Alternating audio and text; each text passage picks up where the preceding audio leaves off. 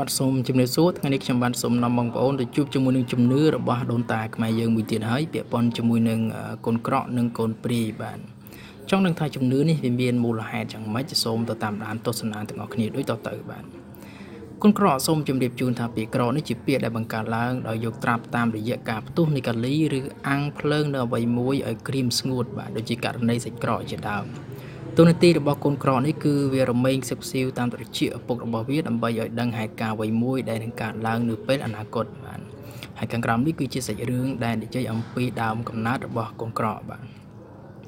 នៅក្នុងគ្រួសារមួយដែលទៅនឹងរៀបការថ្មីថ្មោងហើយនៅក្នុងចំណោមអ្នកទាំងពីរនោះគឺសុទ្ធតែជាកំឡោះក្រមុំបរិសុទ្ធគឺមិនធ្លាប់រៀបការនិងមានកូនពីមុនមកទេនៅពេលដែលប្រពន្ធមានផ្ទៃពោះជាលើកដំបូងដែលមានរយៈពេលប្រហែលជា5ខែ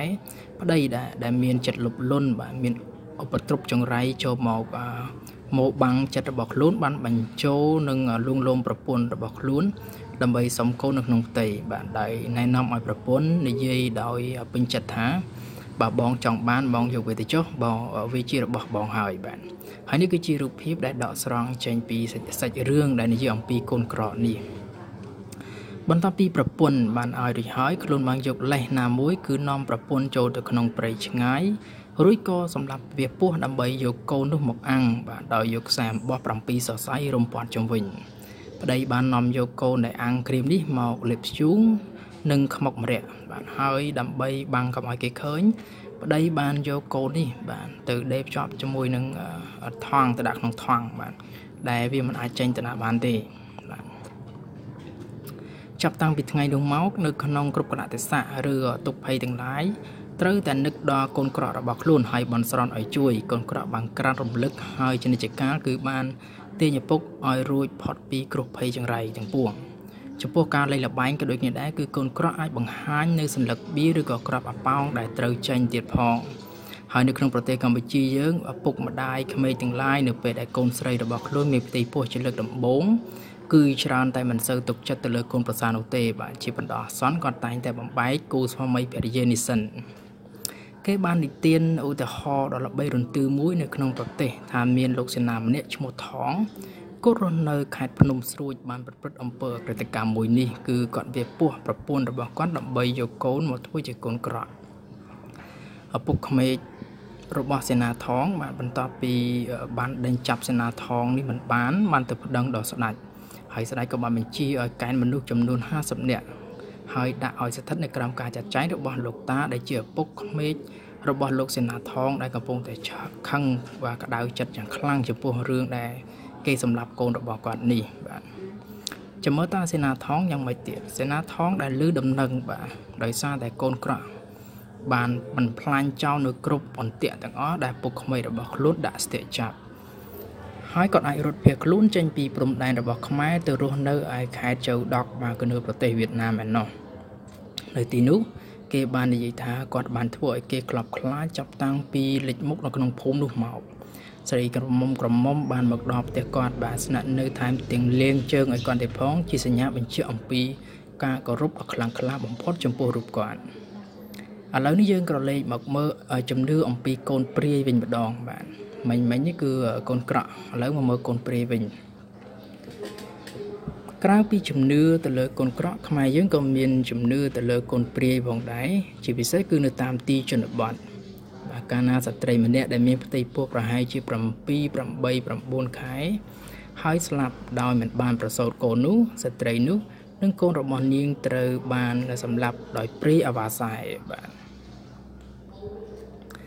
ឥឡូវយើងមើលសាច់រឿងបន្តទៅទៀត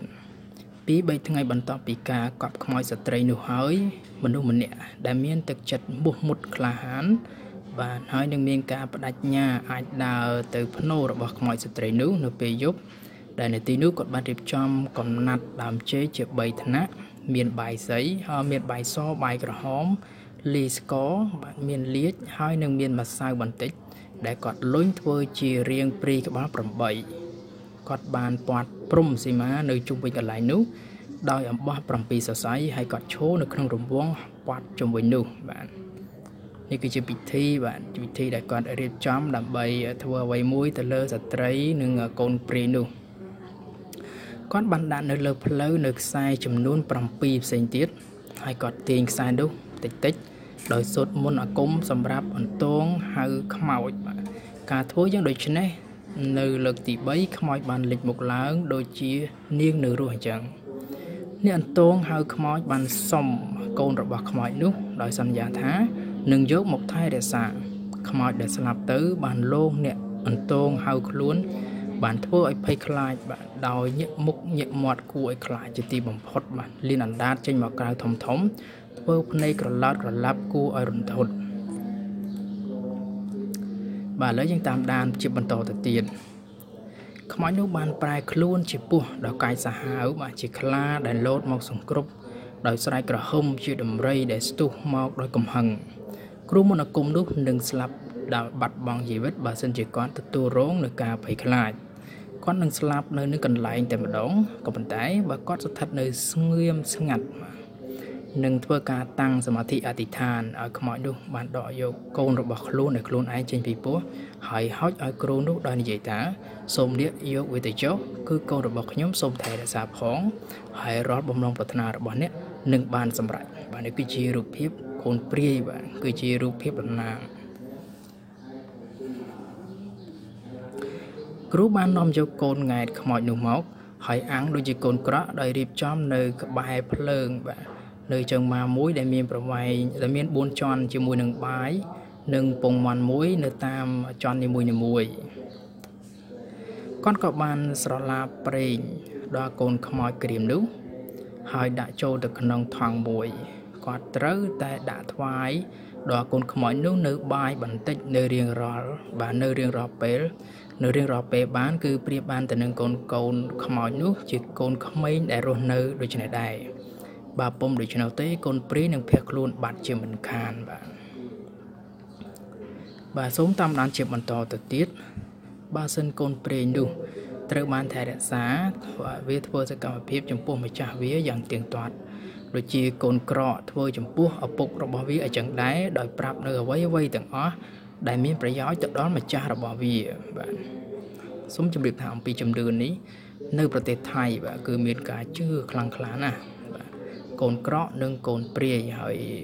បច្ចុប្បន្ននេះនៅក្នុងប្រទេសកម្ពុជាយើងក៏នៅតែមានដែរបាទជាពិសេសគឺនៅតាមទីជនបទតែម្ដងបាទដែលនៅមានជំនឿទៅលើអរុអរិយអ្នកតាកូនក្រក់កូនព្រាយនេះយ៉ាងខ្លាំងបាទ